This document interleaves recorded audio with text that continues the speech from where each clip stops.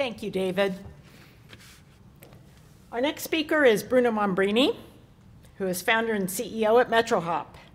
Bruno uh, is a board member of Cafe Foundation, and he was the event manager for the NASA Green Flight Challenge uh, in 2011. He's also, as I said, the founder of MetroHop. MetroHop uh, is a uh, eSTOL plane approach to the challenge of flying people and parcels quickly and affordably in greater metropolitan areas. At MIT, Bruno helped build the Chrysalis human-powered airplane, over 100 people were able to fly that aircraft. And after college, Bruno founded Avex Scientific, a surgical supply manufacturing company, which he recently sold to Stryker Instruments. Bruno's a fan of flow state, side projects, and making better stuff. Please welcome Bruno.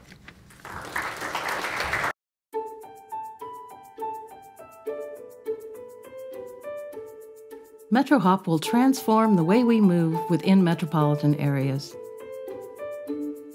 MetroHop is an all electric short takeoff and landing aircraft.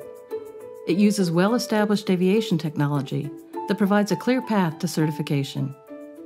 The planes operate out of busy skyport stations that easily integrate into cityscapes around the globe. This trillion dollar industry can operate on fares as low as $39, making it an accessible and inclusive method of travel for millions of people. The MetroHop plane is fast, flying at 250 miles per hour. In the San Francisco Bay Area, for example, it would take just under 10 minutes to travel from Embarcadero Center in San Francisco to San Jose International Airport in Santa Clara. The International Patent Pending Landing Gear System allows the plane to take off and land in 60 meters. Powered wheels drive the plane to takeoff speed. Takeoff is fast and nearly silent. The plane is as quiet as an electric car, which means that it can fly subtly and peacefully overhead, day or night. The landing gear system allows the plane to land accurately and smoothly. As the plane flies over the landing marks, the motorized landing gear legs drive down to the ground. This is how MetroHop is able to land gently and reliably in most weather conditions. Using modern sensors, the MetroHop plane is aware of its environment and can react to an event before it becomes an incident.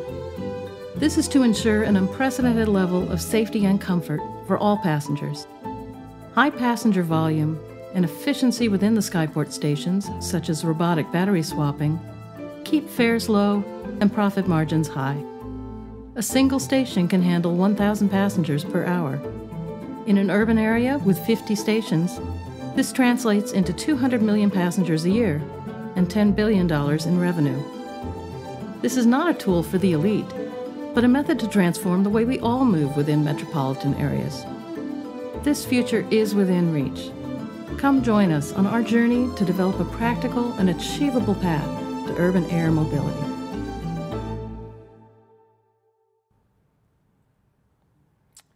Hello, everyone. I'm Bruno, and I'm glad you all made it here. I was part of the club that took a while to get here.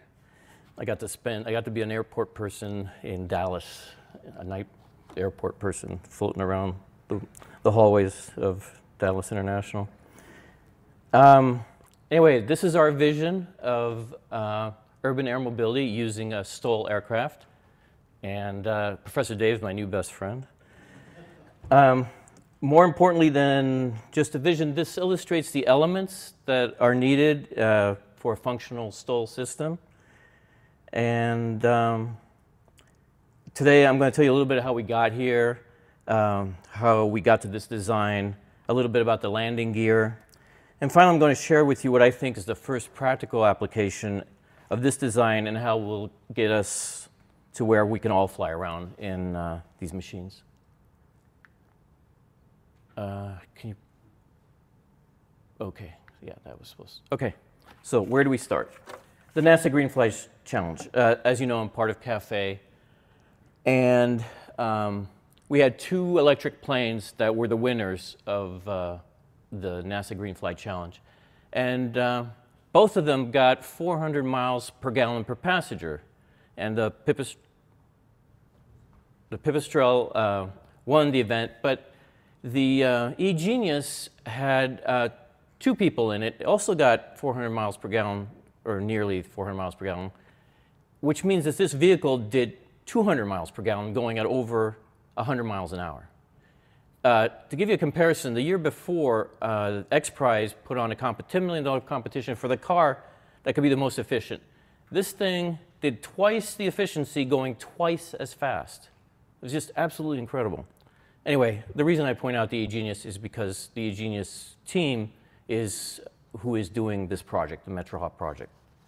So this project started out way back then after the, the Green Flight Challenge as an economic study to see if Metropolitan Air Taxi uh, service could be viable. We didn't have the term urban air mobility back then.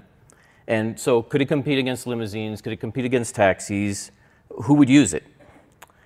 And we already knew that if it was going to operate in cities over densely populated areas, the biggest challenge would be community acceptance.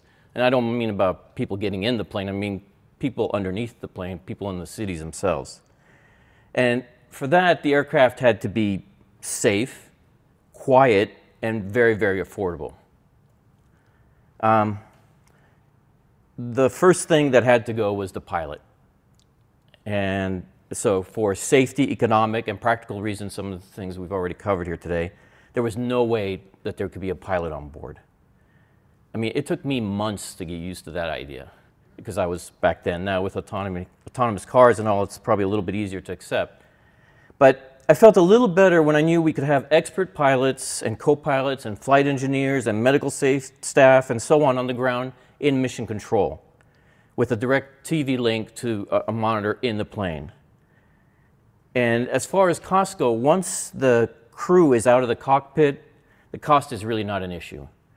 Um, furthermore, all the artificial intelligence and deep learning is great and necessary for autonomous, but computers have no common sense, no empathy, and no authority over, over most people. And in a bad situation, you want somebody with, that has empathy and has authority and uh, common sense. It's, it's a really critical time for that. So we took the crew out of the aircraft and then we figured out a really brilliant concept. Um, I believe the technical term is high utilization. Uh, the cost of the aircraft, even the cost of the skyports, is not the driving force. Uh, the question becomes in an urban air mobility system, what are the elements of high utilization? Um, so first we look at the, at the skyport because that's really the bottleneck in the system. And the key in an urban environment where space is at a premium is to maximize the number of people coming and going every hour. It turns out that, so the DAR, departure and arrival rate, times the turnaround transit time equals the Skyport station size. And we call that the Skyport rule. So let's look at the departure and arrival rate, the first, the first unit. So we, get six, we can do six planes in and six planes out. And to do that, um, so to get a lot of planes in and out, the planes have to come in fast and leave fast. And so we can do that with two airstrips, a meteorized a synchronized pattern uh, with a right and left uh, pattern. And we can get planes in, uh, two in, or six planes in and out every minute, and maintain a 750 meter separation. Uh, next, we look at the turnaround transit time. So we want to minimize the turnaround transit time. We can get it to three minutes. We did studies, we could get it from two minutes, 20 seconds to seven minutes, and the average was was three minutes. And the way we do that is with the robotic battery swapping. Um, uh, okay, to further minimize the time to, to board the plane, we have sheltered curbside loading and unloading. Uh, the Metro planes can rapid taxi. So rapid taxi means that when the plane is taxiing, it can actually lean through the turn, so we can actually maintain a higher speed as, as we're taxiing. And so this gave us 18 planes the, the, the, size of the skyport has to accommodate 18 planes and also 1,000 passengers an hour. Um,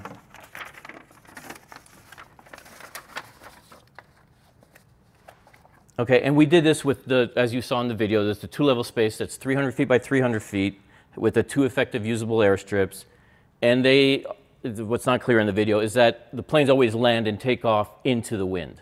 That's a, a critical requirement. Um, the conclusion of the Skyport rule is that the size, the, the S cube, the, the size of the Skyport station is determined by the activity it can handle and not the size of the landing space. Uh, okay, the final element of high utilization is cruise speed. So the size of an urban air mobility fleet is determined by the demand during peak periods.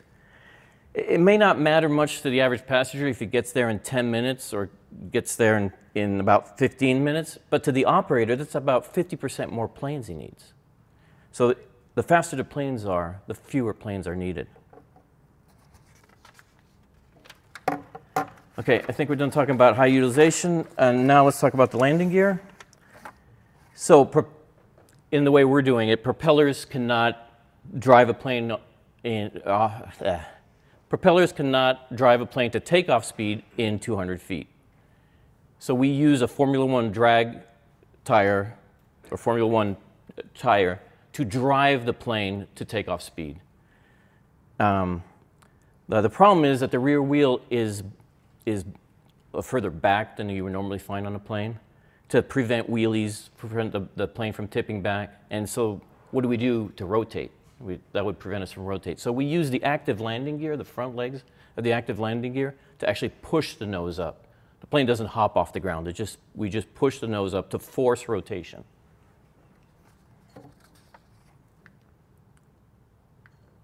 Okay. Now, so landing has two issues. Not only do you have to land in the 60 meters or 200 feet, but you have to hit the landing marks within plus or minus 15 feet. And we can't slam into the deck like on an aircraft carrier. So what do we do? Well, we aim for an area that we can handle. Imagine a virtual box over the landing marks. Now, we're trying to maintain a very steady deceleration. We're, not, we're being very careful not to jerk the, uh, the uh, passenger. We're coming in fast. We're coming in at over 50 miles an hour. So how are we going to, to be able to to do all those things at once and hit the landing marks. Well, we can't. We can't really control that. But in the front landing gear, in the active landing gear, we have sensors, and we can very, very measure, very, very accurately measure the distance to the ground. And when we get over the landing marks, we drive the landing gear to the ground, exactly to the right distance that we need to be. So and again, in the air, we're getting, we start deceleration in the air, so the passenger is in a seatbelt, and then as he lands, the, the, what happens is as soon as the wheels touch, we spoil the wing, so all the weight goes directly to the wheels. So now the wheels can take over the deceleration. We have brakes on the wheels to take over the deceleration, and we maintain a very steady and smooth deceleration as we're landing. The final element of this is that as, as the, the plane has landed, now we, have, we don't have shock absorbers now. So what we do is as the, land is, the plane is falling, we are dissipating that energy into, with a brake. So we're, we're doing a very controlled landing as it comes down and dissipating that energy with brakes which are very, very efficient at dissipating energy. Anyway, so that's how we can assure gentle and smooth landings, secure landings, and very repeatedly with good confidence. Okay. So where are we now? So we're, right now we're seeking funds to build two full-size demonstrator planes. The problem is once we have these planes, what are we going to do? Uh, rules and regulations do not exist for robotic planes. Autonomous air traffic control does not exist.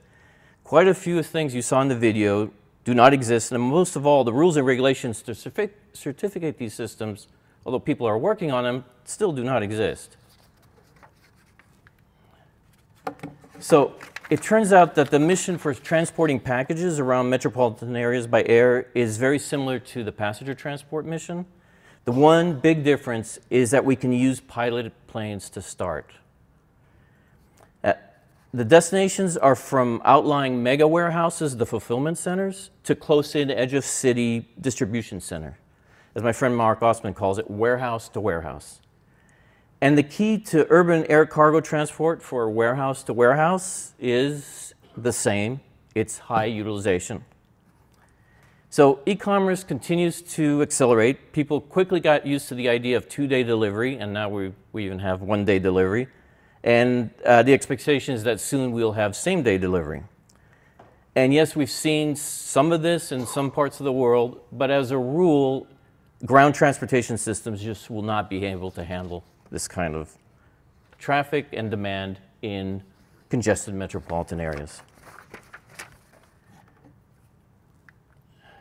So to start, Metro Hop Cargo wants to address a specific segment of the warehouse to warehouse market. Here's a map of surgical hospitals and surgery centers in a 100 mile radius from San Francisco.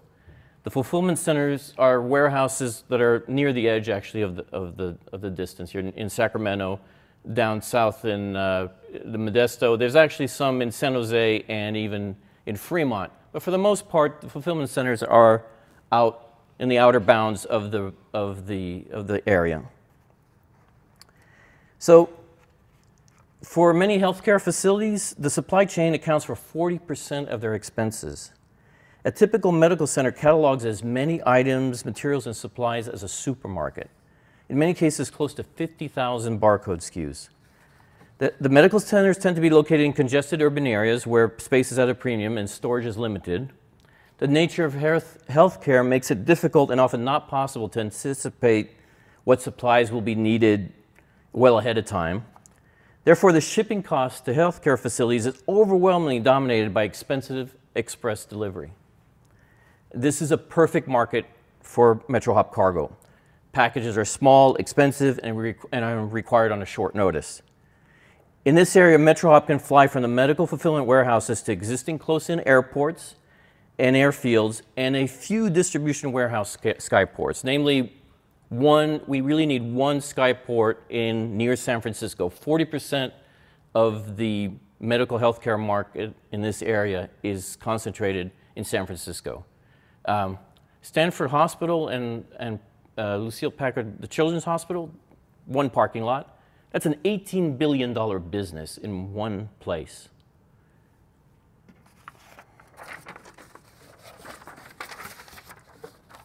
All right. Come on. Okay. So here's our piloted aircraft with uh, Thing 1 and Thing 2 uh, the cargo bin swapping robots. Uh, the average turnaround time in, at an airfield is estimated at seven minutes. Uh, the bin swap takes less than a minute. The payload is 175 cubic feet, 5 cubic meters, and about 1,000 pounds, and the range is 125 miles. Uh, the cargo compartment is actually made up of two half shells, a left bin and a right bin.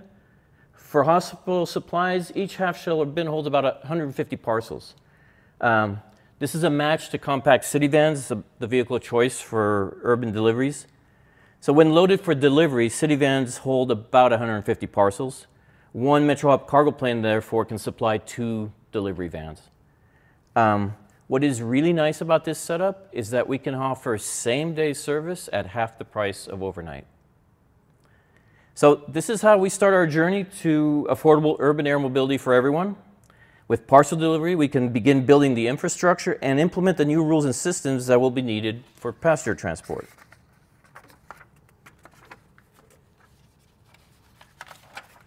Okay. It's supposed to be a blue slide, but anyway.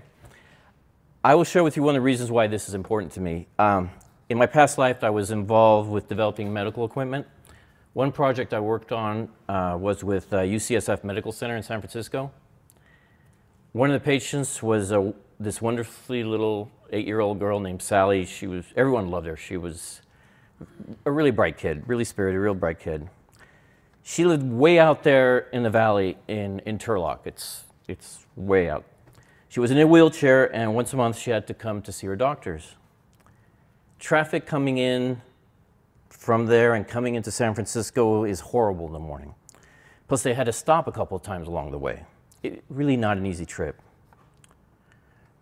Her mom, Rosa, had to get her up at 4 o'clock in the morning to make their 10 o'clock appointment. It turns out that Turlock, way out there, is 22 minutes away by airplane.